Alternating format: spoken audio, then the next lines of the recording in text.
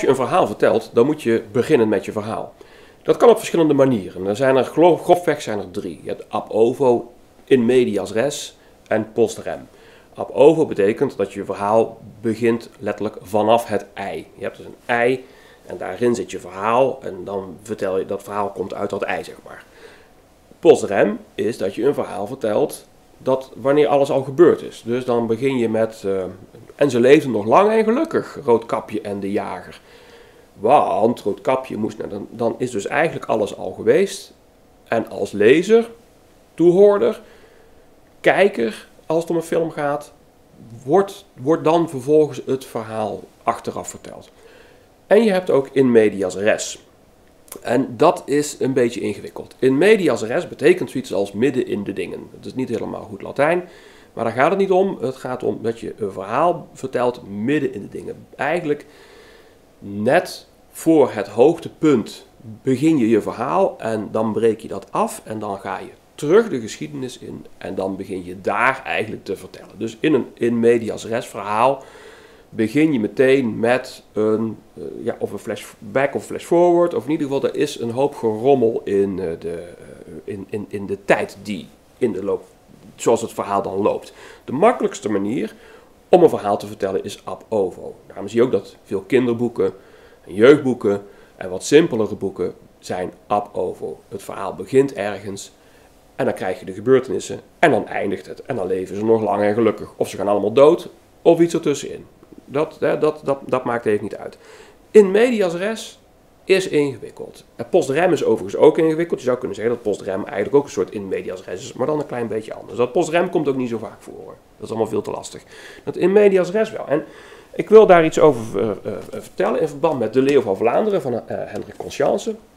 Want dit is een historische roman, een van de bekendste uit de Nederlandse literatuur, zeer terecht.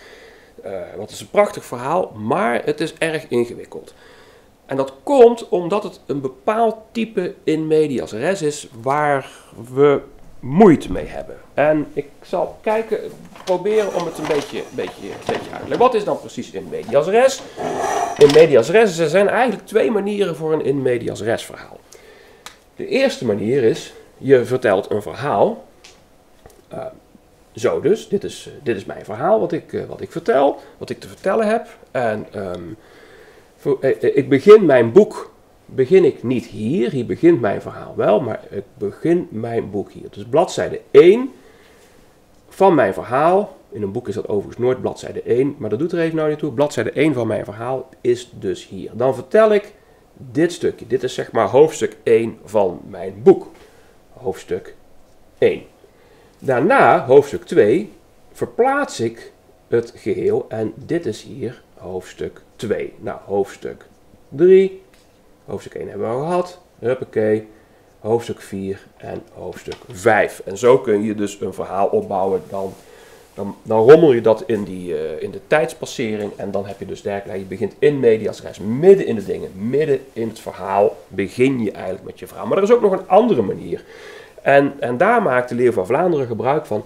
En dat is, dat is als je gebruik maakt van zeg maar, een echte historische tijd. Of je maakt gebruik van een al bestaand verhaal, bijvoorbeeld de Griekse mythe of iets dergelijks. Dan kun je daar jaartallen bij zetten. Nou, bijvoorbeeld, even niet met, uh, met Hendrik Conscience, maar stel je voor je gaat een verhaal vertellen en dat begint in de Tweede Wereldoorlog. Nou, die Tweede Wereldoorlog, die begint in Nederland in 1940 en in 1945 stopt hij. Maar jij begint een verhaal te vertellen. Je ga, een verhaal vertellen. Dat begint ergens in die Tweede Wereldoorlog en dan komt een soort nasleep. Dus ik begin mijn verhaal in 1944. En ik begin hoofdstuk 1 daar. En daarna begin ik te vertellen. En het verhaal eindigt hier ergens in, weet ik veel, in 2020 of 1975. Of dat doet er ook helemaal niet zoveel toe. Moet je dan als je dat hoofdstuk 1 begint in 1944, moet je dan ook gaan vertellen. Nou, in 1940 viel het Duitse leger Nederland binnen, want in 19, uh, wat was het, uh, 36 had je, nou fijn, en, dan, en want in 1933 was het, en, en in 1918 gebeurde het. Kijk, weet je, dat is die historische tijd. En je hoeft, vinden veel schrijvers, niet heel die voorgeschiedenis te gaan vertellen als je jouw verhaal in 1944 begint. En dat heeft natuurlijk wel te maken met het feit dat de mensen daarvan iets moeten weten. Dus het is aan de lezer om te weten, 1944, ja toen was er iets hè. Oh ja, Tweede Wereldoorlog. Als je dat niet weet, dan wordt het hele verhaal natuurlijk lastig. En dat is waar de Leeuw van Vlaanderen ook een beetje last van heeft. En de Leeuw van Vlaanderen, dat gaat voor een groot deel gaat dat over hè, de Gulden Spoorslag 1302. Het boek is uit 1838, eh, maar het speelt zich af in 1302. Uh, en, ja, en, en, en, en, enkele jaren daarvoor, dus begint zo rond 1300 of zo geloof ik. En dat is lastig, omdat je als lezer behoorlijk moet weten wat er aan de hand was in die tijd, in, in, in 1300 en in Vlaanderen. En wie was die graaf van Vlaanderen dan? Wie was die graaf Gwijde? En Conscience vraagt nogal wat van zijn lezers. En als je zomaar begint te lezen, en nou, Leeuw van Vlaanderen, heb ik veel goeds over gehoord. Nou, uh, ik zeg er ook nog niks kwaads over, het is een fantastisch boek.